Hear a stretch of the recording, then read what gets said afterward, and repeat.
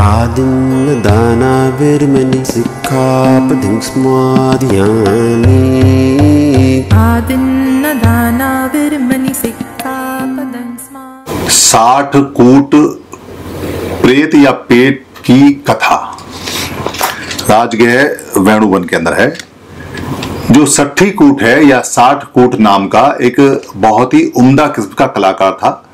कलाकारी क्या करता था? पत्थरबाज था।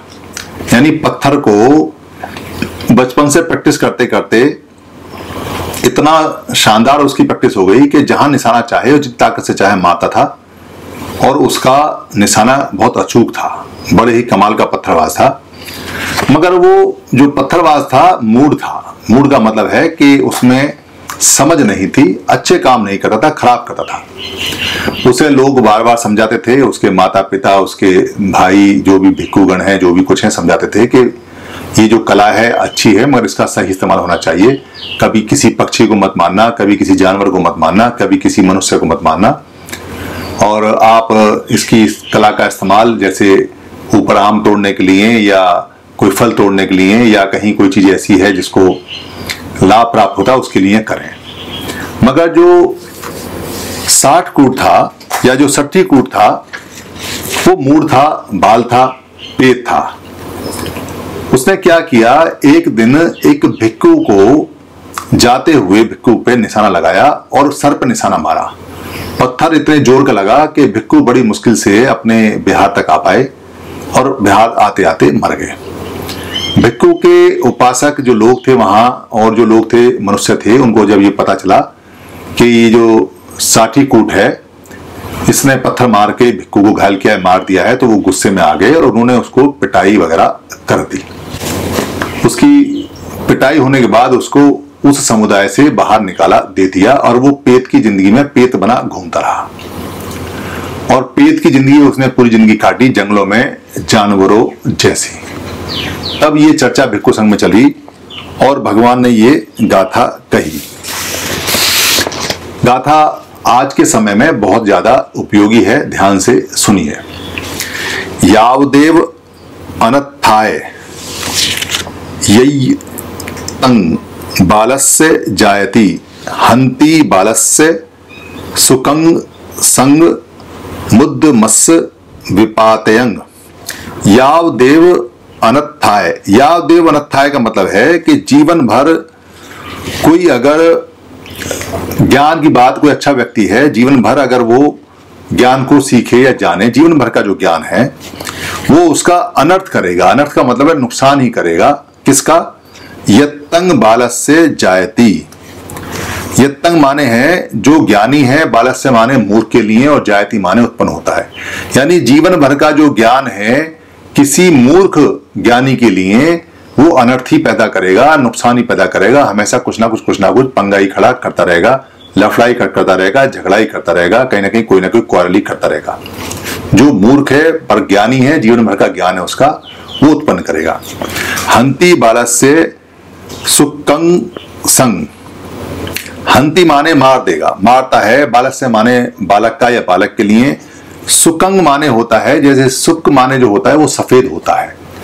सुक माने सफ़ेद का मतलब है जो उसके सफ़ेद काम है, यानी जो उसका सफ़ेद पक्ष है, उसको वो मार दे, मार देगा। यानी जीवन भर में जो उसने अच्छे काम किए हैं, उनको वो मार देगा, खत्म कर देगा। मुद मत्स्य विपात आय मुद मत्स्य का मतलब है जो मुद मत्थ बोलते हैं इसको, यानी कि मुख और मत्था, वो नीचे आ जाएगा। मत्स्य माने जो होता है, वो आता है नीचे आना, और विपात आय विपात का मतलब होता है पात होना, उसका पतन होना। यानी कि जो सफ़ेद पक्ष है जिसका, सुकंग संग, यानी सुकंग माने हो गया सफ़ेद को और संग माने निज को। यानी उसका जो निज का, खुद का जो मेहनत का किया हुआ सफ़ेद काम है, वो भी सारा का सारा मारा जाएगा, खत्म हो जाएगा और उसका मत्था और उसका जो मुँह है, वो उसको नीचे आ जाएगा, कर देगा और उसका पतन हो जाएगा। इसको अगर स्पष्ट शब्दों में समझें तो ये इस प्रकार है कि कोई व्यक्ति अगर मूर्ख है तो उसका जो जीवन भर जो उसने ज्ञान प्राप्त किया है, वो हमेशा उसे विपत्ति में डालता रहेगा, कठिनाई में डालता रहेगा, नुकसान में डालता रहेगा। और जो जीवन भर उसने कोई अच्छा काम किया भी है, वो सारा काम खराब हो जाएगा और वो उसका सर नीचे रहेगा, उसकी हमेशा लोग बेचती करेंगे, निंदा करेंगे। इसके अगर आप उदाहरण देखेंगे जीवन में तो आपको इसके हज़ारों उदाहरण मिल जाएँगे। जैसे कोई बम बनाने वाला है परमाणु बम बनाने वाला है और उसने बम बनाया या किसी तरह का बम बनाया तो उसका जीवन भर का ज्ञान है, मगर मूड ज्ञान है, अनर्थ करने वाला ज्ञान है। वो जहाँ भी बम को छोड़ेगा, वहाँ लाखों लोग, हज़ारों लोग मरेंगे, और अनंत उसको यही कहेंगे कि इसने बहुत बुरा काम किया और उसके सर को, उसकी इज़्ज़त को हमेशा नीचे करके देखेंगे, कोई उसको इज़्ज़त नहीं देगा। इसी प्रकार जैसे आपने देखा होगा कि जर्मन के अंदर एडॉप्ट हिटलर है। हिटलर ने बहुत ज़्यादा एक उसके अंदर शक्ति थी कि वो ऑर्गेनाइज कर सकता था लोगों को। लोगों को इकट्ठा कर सकता था, लोगों को बड़ा अच्छा भाषण देता था। उनके कल्याण की बातें बताता था, मगर उसके मन में कुछ और था। वो लोगों को कहता था कि मैं तुम्हें सुखी कर दूँगा, जर्मन बहुत बढ़िया हो जाएगा, इस तरह से हो जाएगा, पूरी एक किताब है इसकी। आप उसे देखेंगे, पढ़ेंगे, समझेंगे। और वो लोगों को आकर्षित करके लोगों ने उस पर यकीन किया, भरोसा किया, मगर उसका जो जीवन भर का ज्ञान था, अनंत वो पहुँचा कहा? देश उसने पूरा बर्बाद कर दिया। अंत में अपनी गर्लफ्रेंड के साथ में सुसाइड कर लिया उसने। गोली मार ली और आज तक भी हिटलर को सब गाली ही देते हैं, थूकते हैं। हिटलर के, देश के खुद के लोग भी पूरी दुनिया में शर्मसार और शर्मिंदा है। उनका जो मत्थक है, उनका जो मस्तक है, वो नीचे है। हिटलर उनके देश के नाम पे कलंक है, जिसने करोड़ों लोगों को मरवाया। क्योंकि तो सत्ता उसके हाथ में आ गई।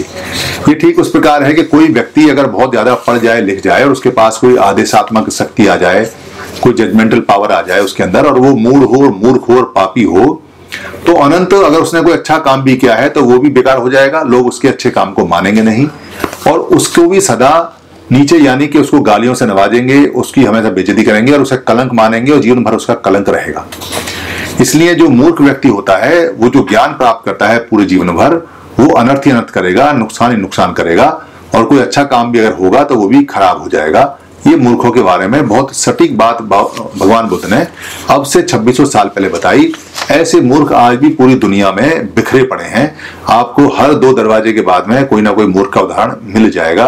किसी मोहल्ले में, किसी कॉलोनी में, किसी ज़िले में, किसी गली में, किसी दफ्तर में, किसी दुकान पे, किसी मकान में, किसी मॉल में, किसी स्टेट में, किसी राज्य में, किसी देश में, दुनिया में बिखरे पड़े हैं। धन्यवाद। आप सभी से ये निवेदन है कि अगर आपको ये वीडियो अच्छी लगती है या बाकी वीडियो अच्छी लगी हैं, और आपको लगता है कि धर्म की वीडियो किसी को और मिलनी चाहिए या किसी को गिफ्ट में भेजनी चाहिए या किसी भाषा में कन्वर्ट करके आगे बढ़ानी चाहिए या प्रिंट में, किताब में छापनी चाहिए या इसकी जो ऑडियो है उसे निकाल के भेजना चाहिए या इसका किसी पार्ट को इस्तेमाल करना चाहिए तो आपको लिबर्टी है, आपको छूट है। ये सभी कॉपीराइट फ्री हैं। आप अपने फेसबुक पे, अपने पेज पे, अपने ट्विटर पे, या अपने हैंडल पे, या लिंक को कहीं भी शेयर कर सकते हैं, कहीं भी चला सकते हैं, आप यूट्यूब पे भी चला सकते हैं, अपने नाम से चला सकते हैं। इसके लिए इजाज़त लेने की या परमिशन ले, लेने की बिल्कुल भी ज़रूरत नहीं है। आप इसको अपना मान के चलाएँ, क्योंकि धम्म सबका है। हम जो बताते हैं, वो भगवान बुद्ध का है, या महापुरुषों का है। उन्हीं की बात को सरल भाषा में बताते हैं। हमारा सिर्फ़ इतना राइट है इस पर कि हम इसको लोड कर देते हैं। बाकी सारी ये पूंजी आपकी है। धन्यवाद। शरणं गच्छामि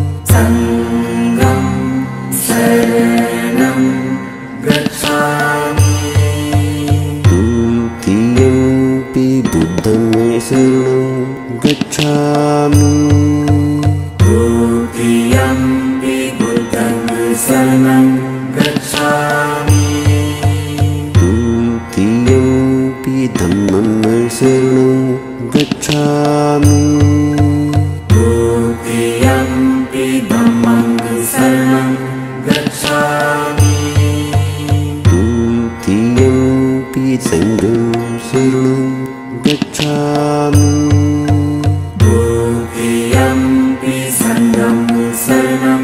गच्छामि ततीपि दुद्धं मे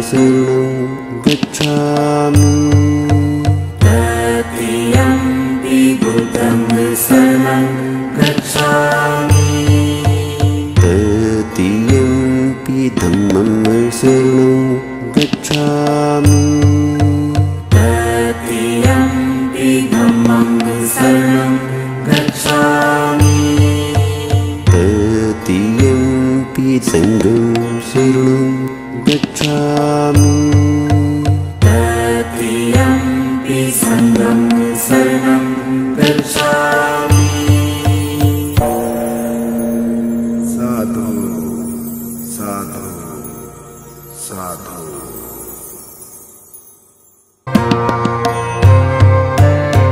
कामेश मिच्छटारविर्मणि सिक्खापदं स्मादयामि कामेषु मिच्छचरविर्मणि सिक्खापदं स्मादयामि कामेषु मिच्छचरविर्मणि सिक्खापदं